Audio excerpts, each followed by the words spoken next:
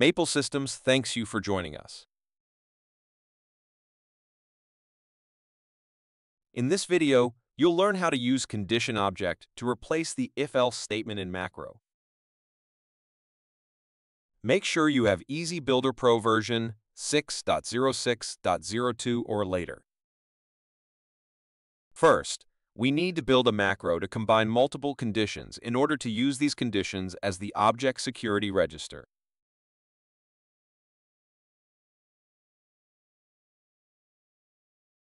Now we can simply use a condition object to do that.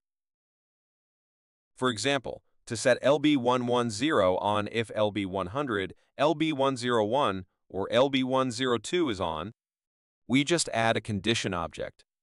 Select or operator. Add LB100 is on as conditional number 1. Add LB101 is on as conditional number 2.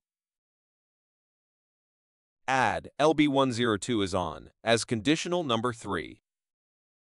Set the output to LB110.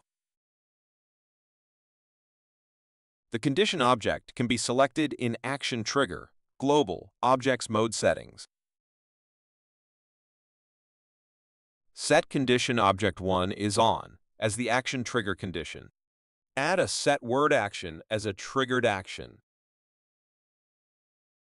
Set Condition Object 1 is off as another trigger condition. Add a set word action as a triggered action. Run a simulation.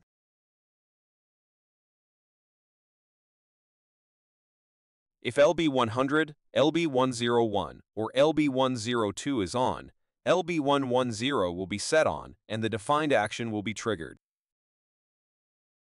Word type addresses can also be set for conditions.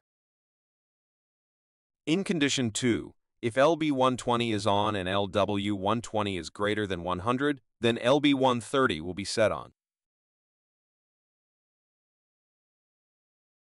Set LB120 to on first. When LW120 is greater than 100, LB130 will change to 1. If we change LW120 value to 0, LB130 will be set off since the condition is no longer satisfied. Selecting another condition object as condition is also possible.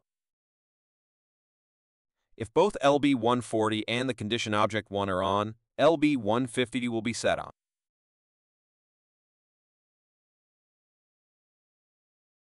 LB150 can be used as the security register and it can replace the if-else statement in macro.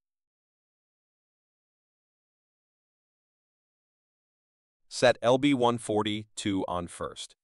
When condition 1 is on, LB150 will change to on and the object with the security setting will show up.